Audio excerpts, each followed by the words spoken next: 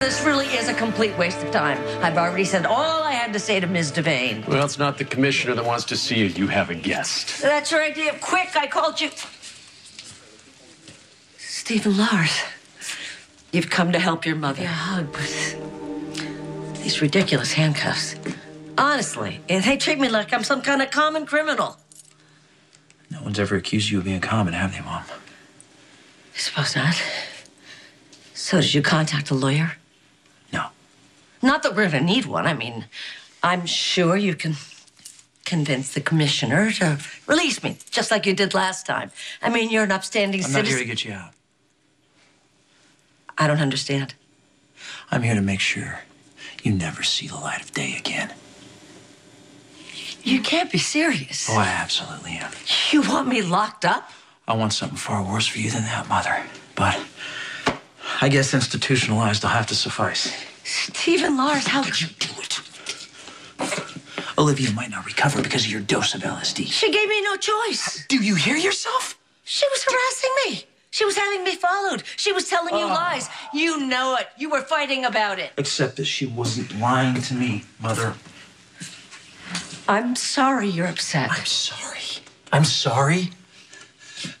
I defended you. I took you in. I wanted so desperately to believe you were better. I am better. You're certifiable. You watch your mouth. I am not crazy. You're right. You're worse. You're a murderer.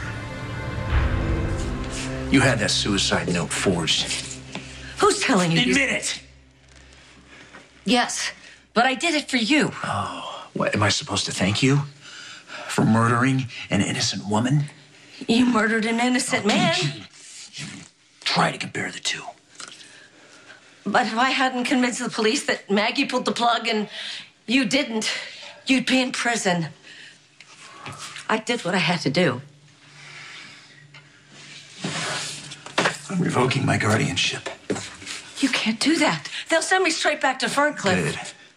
You never should have gotten out. Stephen Lars, My name is Steve. I know your name. I'm your mother. Not anymore.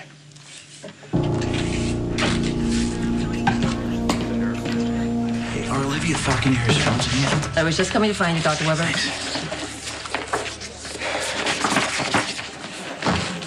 How's Luke? Oh, it's none of your concern. Wait, wait. I need to talk to the prisoner.